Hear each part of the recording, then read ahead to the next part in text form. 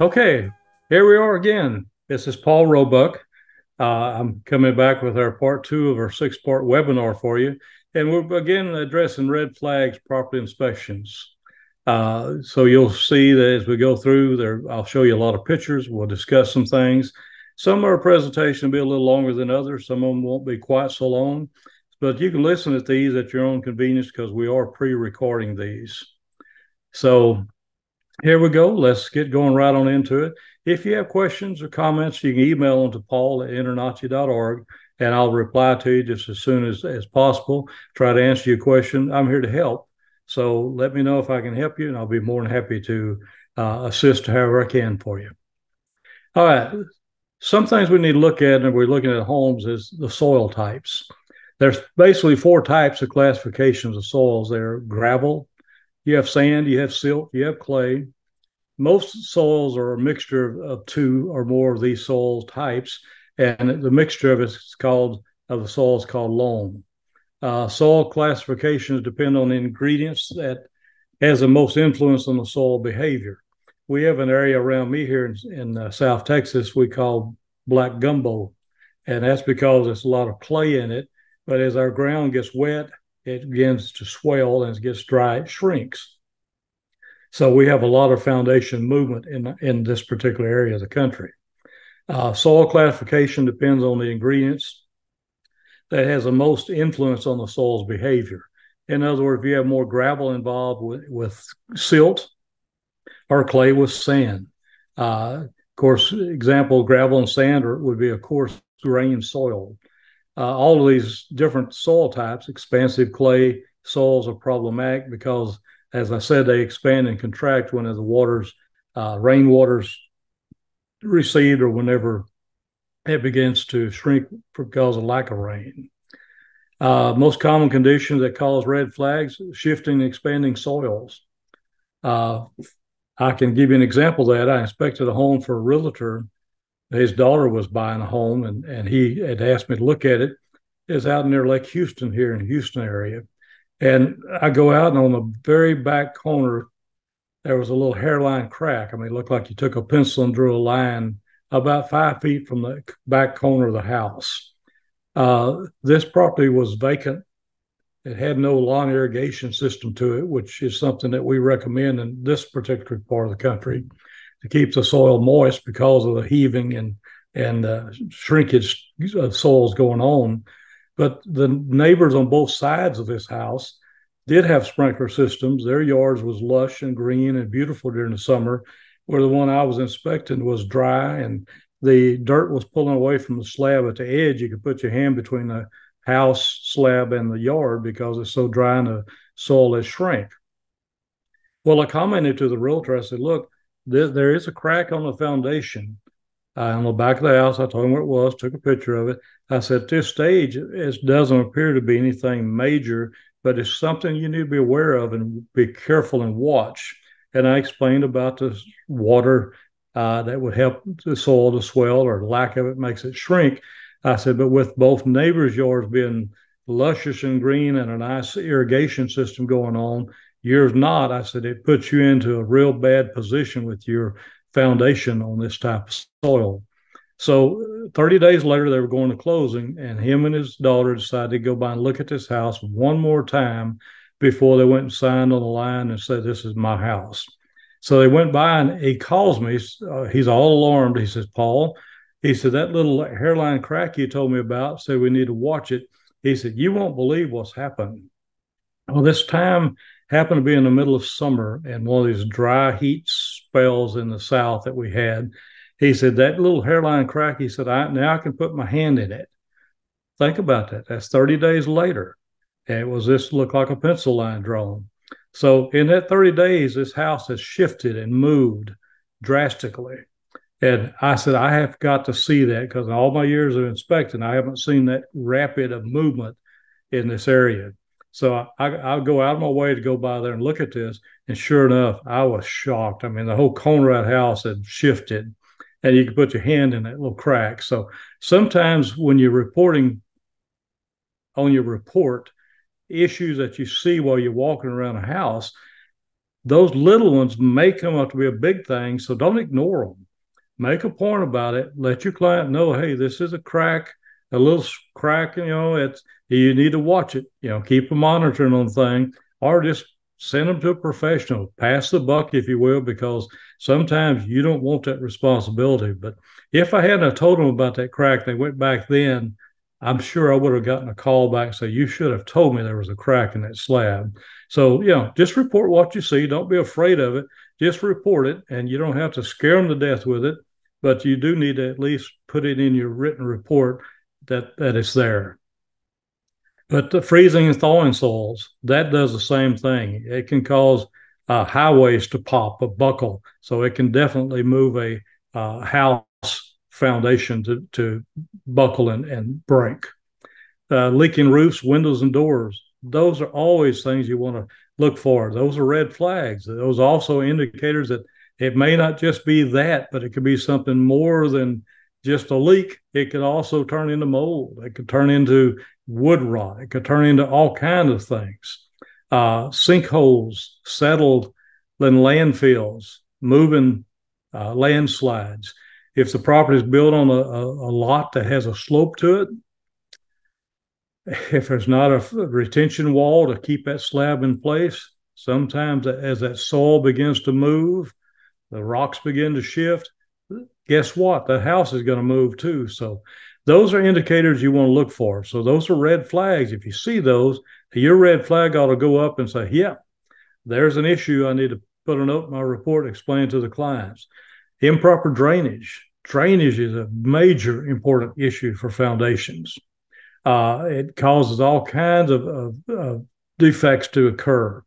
But improper grading, if the house, the land around the house is not properly graded to drain away from the house, it could cause all kind of problems. If you have a house that's built upon pier and beam, and the grade is not sloped where water goes out from under the house, it doesn't allow it to get underneath the house and collect then you're going to have problems with the foundation.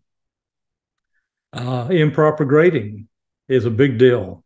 Improper installation uh, and all of all types of stucco. I can tell you as an inspector, I've done this for, like I said, almost 30 years now. Uh, stucco is a major concern. I personally have not found probably just a handful, if that, of homes with stucco, even commercial properties with stucco where the stucco was properly installed. So stucco is always a red flag. Always look at stucco. If you're not familiar with stucco, we offer some classes online. Get familiar with it. EDI is Exterior Design Institute is a organization that certifies people in stucco, all types of installations, and uh, we have some great classes on stucco. I encourage you if you have homes in your area that have stucco, become familiar with it get in and get to know what stucco really is and different types of stucco and the things to look at. Uh, improper installed weather resistant barrier. That's what the WRB means weather resistant barrier materials, flashing details. This is huge.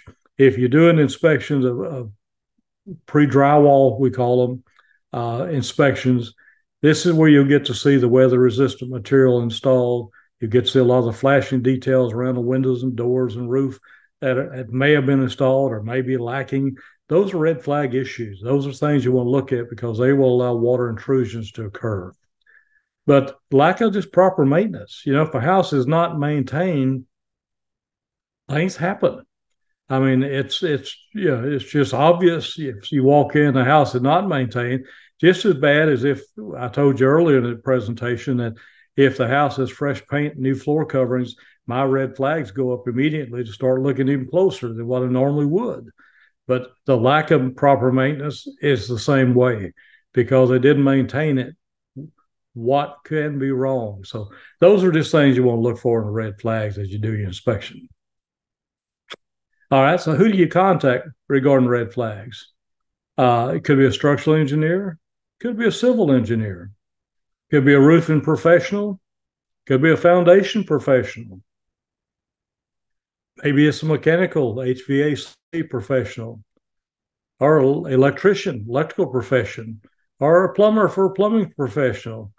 it may even you may even need to contact city, county, or the state government officials.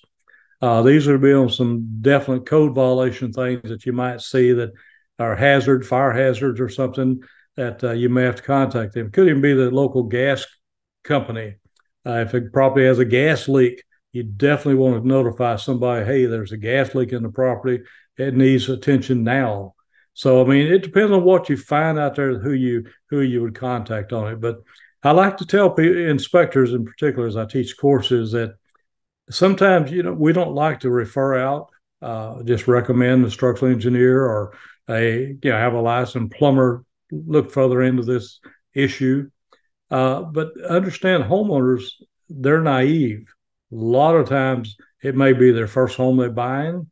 They may not know anything about electrical, plumbing, air conditioning. You're the expert. You're the one that they're counting on to tell us, look, if there's an issue, who do I need to get? You know, my realtor says, get a handyman. Well, a handyman may be a good choice, but you don't have to give them a name of anyone, but a professional is where you want to refer them to. So keep that in mind as you write your reports. There's nothing wrong with referring a professional.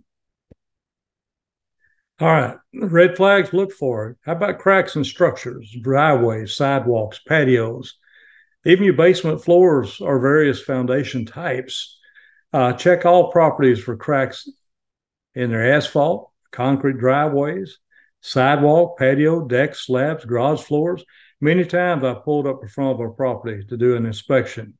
And as I take, get out of my vehicle to look at the front of the house, take my first picture, I look at the sidewalks and the driveway. If the sidewalks are all cracked, buckled, uneven, well, number one, I'm going to write them up as being trip hazard and a hazard condition. But number two, it tells me there's a lot of tree roots or movement going on on this slab, on this found on this property that could cause some foundation issues. So your red flags can start the minute you pull up in front of a house.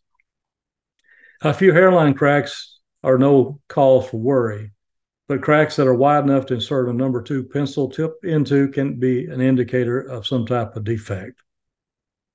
That's not a very wide crack, guys. Remember that what I told you earlier about the house I inspected with a little pencil line crack and how it moved in 30 days. So, you know, beware. You think, well, it's just a hairline crack, it's not a big deal.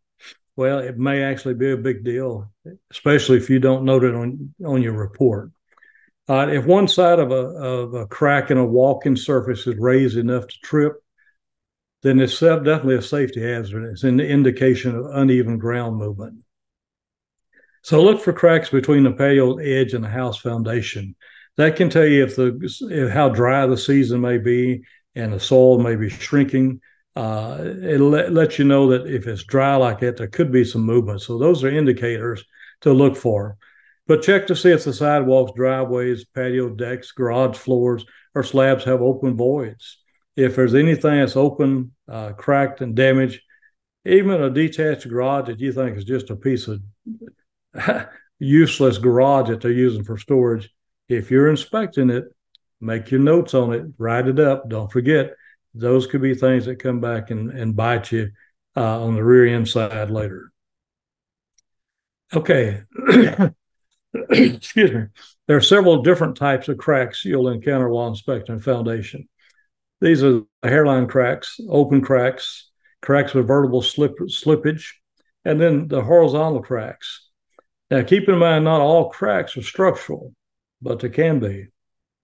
So there's a big caveat there. They can be.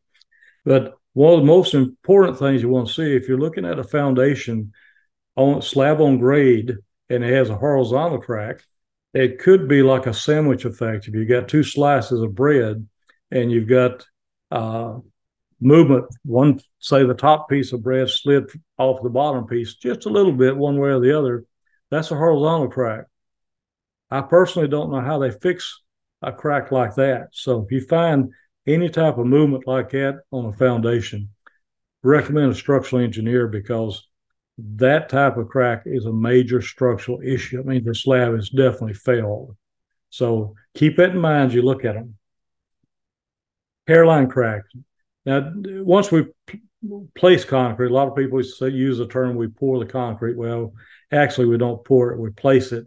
Uh, but during the normal curing process of concrete, random hairline cracks are going to appear. Hairline cracks are those that are randomly thin cracks that look like pencil lines drawn on the surface. They do not completely penetrate through the surface of the foundation. There are no openings between the edges, and they usually do not indicate serious problems. Those are what we call shrinkage cracks. All concrete is placed wet, and as it dries, you'll get some of those little uh, shrinkage cracks, as we call it. So you know, just keep that in mind that uh, shrinkage cracks is what what those are. Usually, they're not a problem. Those come with time and experience, and uh, the more you do inspections, the more you'll become aware of it and familiar with what's going on there. Okay, open cracks. The width of open cracks should be estimated. Is it wider than the width of a lead in a number two pencil? If so, then that's definitely going to be a foundation crack you need to note that because it can move, it can open up even further. But report all cracks that are wider than lead in a number two pencil, or when the end of the crack is wider than the other. In other words, if you got a crack that's opening up, that kind of you would take a consider a V shape. One end of it's pretty snug, the other end is opening up wider than the one on the other side. These are red flags. These are comments that should be written in your report with pictures. Always show pictures. This is what it is now. If you have a measuring tape, you can always put a measuring tape down, something to show that, hey, this is where the crack is today. You should monitor it. Have a professional further evaluate it.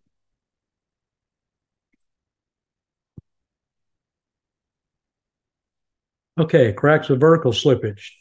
Vertical slippage may be very serious means that the concrete on one side of the crack has moved down. So sometimes you'll get a ver- vertical slippage like that. And I've actually seen houses with a crack from front to back. And one section of the house drops down several inches versus the other. So it makes a step inside the house, if you will. But when you see that, that is a major structural issue. Can they be corrected? Well, yes and no, but that's not our job as home inspectors to go and define that. I have been called out as an expert on a lot of these things because of my background and my experience in foundations. But you know, as a typical home inspector, these are not your cup of tea, let's call it. This is beyond your scope. So if you see that, just recommend a professional and move on.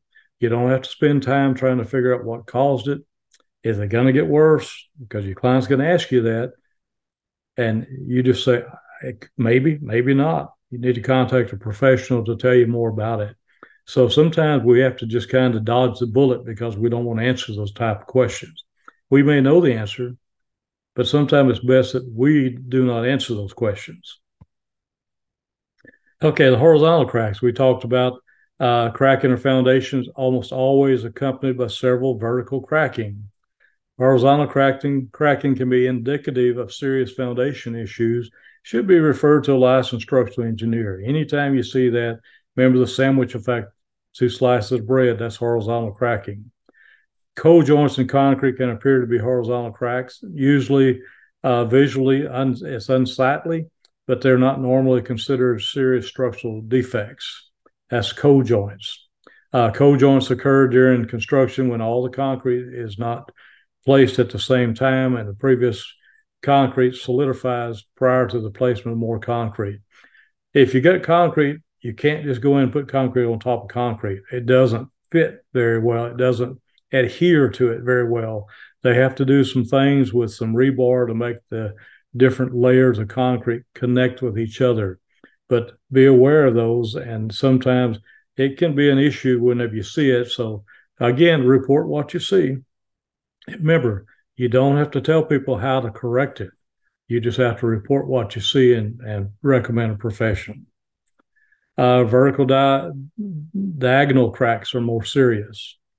Uh, horizontal cracks can be serious. You should note their location, the width, and length. But cracks in foundation surfaces are common. Like we said, uh, there's some, the corners of some foundation have similar cracks on both sides of the corners. Uh, if a corner may be it may be actually be, be missing a section of concrete altogether.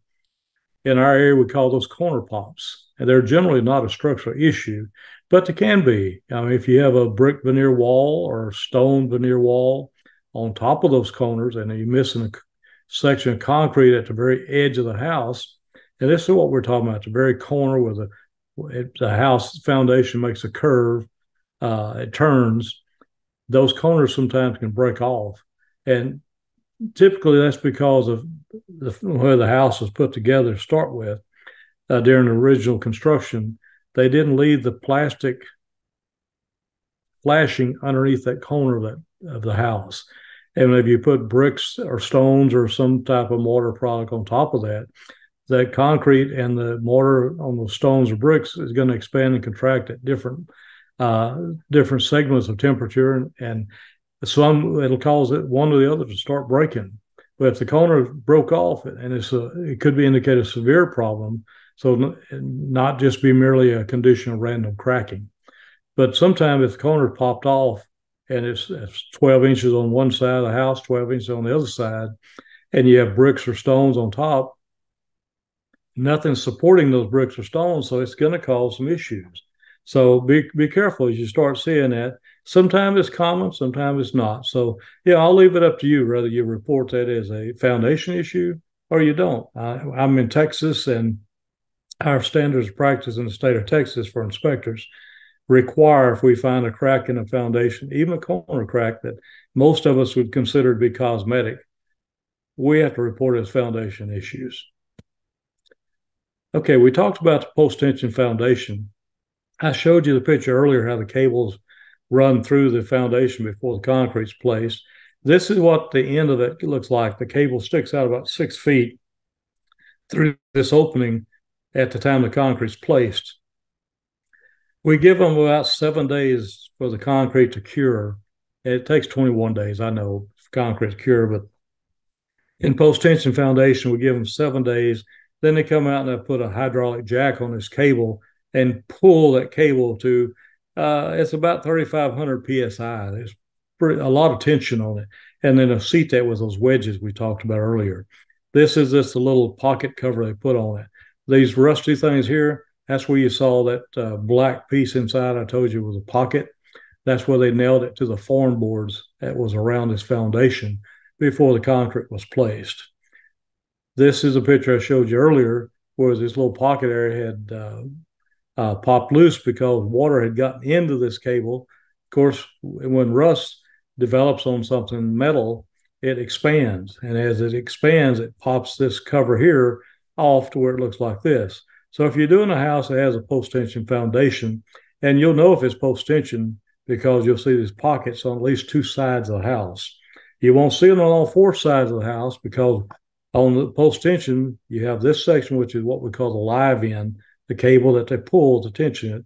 The other, this cable is set to the inside of the form board, and we call that a dead end because it's attached there. So one cable in, they pull, and you'll see this on at least two sides of the house. But if you start seeing, like on this left picture, where the cable's rusty, that is a repair item. a lot of people say it's a maintenance. It is considered a maintenance, but same time, if that maintenance is neglected, these wedges slip and that cable that runs through the house from one side to the other can pop and it'll actually pop up to the inside of a house. So it can definitely cause some issues. Uh, it could cause death even. I mean, if somebody get hit with that cable and that type of pressure, it could rip them apart. So by all means, it's it's a defect in your report repair item. This is another one where it just wasn't seated very well. See how it starts to crack? This thing gets rusty, you'll see things start to crack like that on the foundation. Again, that is a red flag to call for professional service on it. As I said, the cables come out. Here's one that actually broke in a house. If you look at the picture on the left, you see this cable sticking out. The pocket's all the way out here. The cables come out. They don't just pull loose like that. If you see that, there's going to be something that's happened, and chances are that cable's popped inside the house and if you look at the right side picture, this is inside of a closet. That cable popped, come right out of that foundation.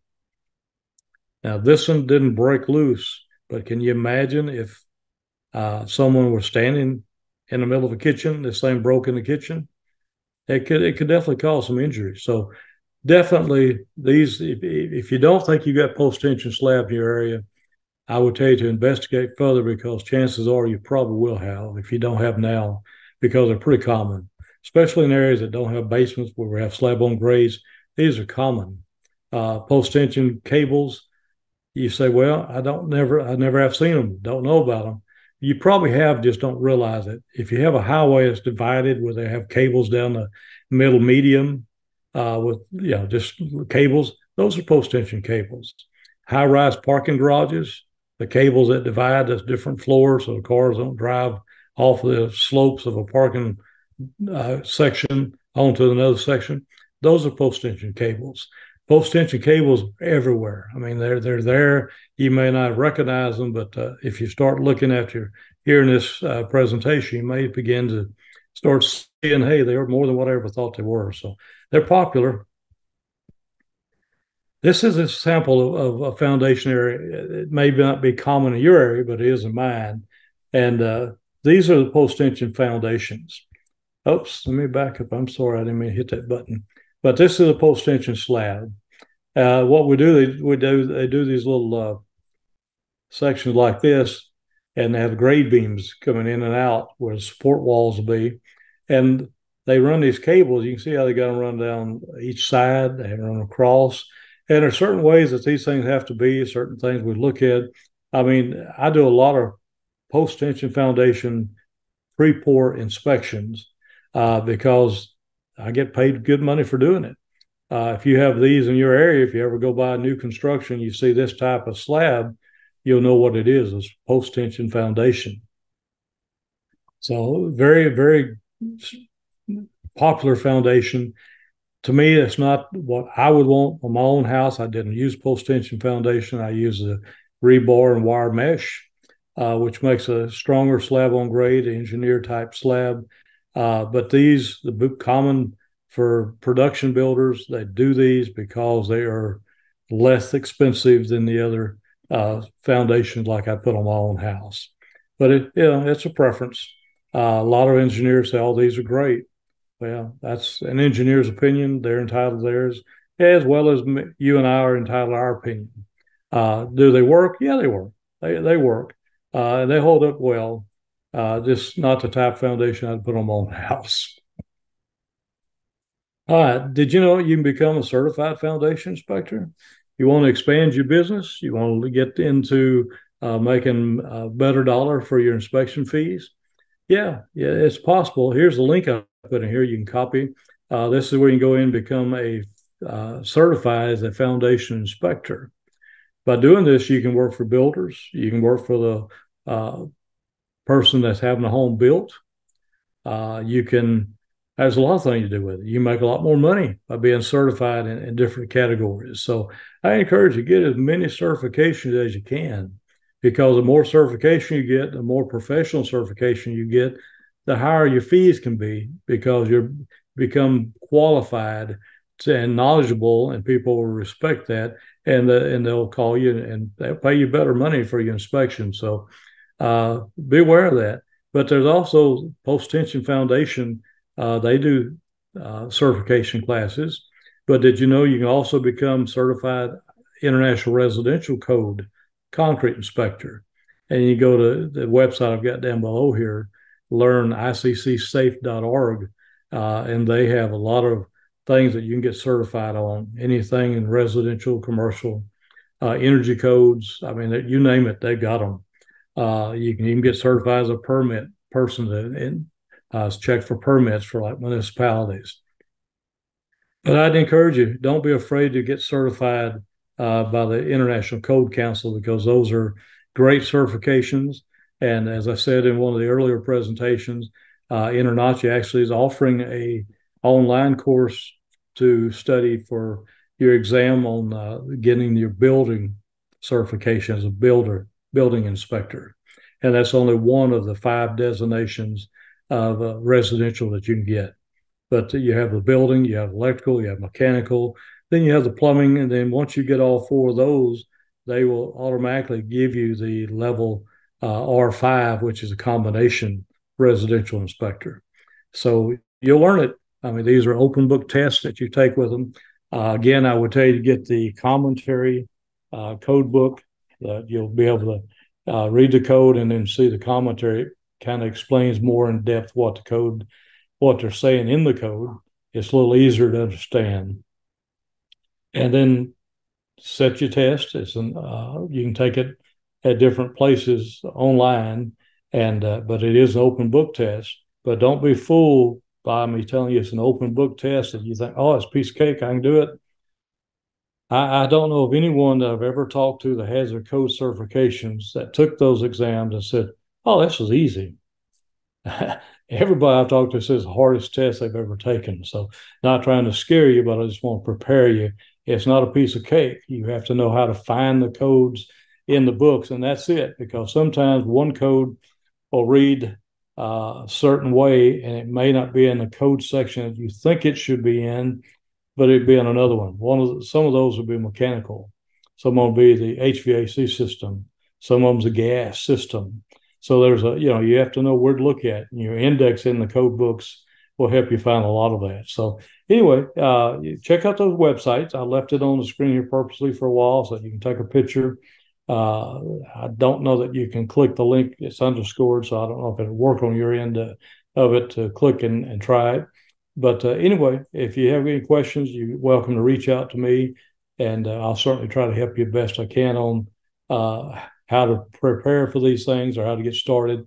I do know that InterNACHI has uh, flashcards on these topics too that can be beneficial to you. And I, I can tell you when I took my code certs classes and tests. I took them years ago. Uh, I used the flashcards. I used all type of any type of practice exam I could find. I take everything I could to pass it. So uh, it's it's a lot easier. When I took mine, it's been years ago and it's changed since that time. because I've been in this business for over thirty years now. The code cert classes, you had to take all four exams at one time that was a eight hour day testing. Well, it was tough.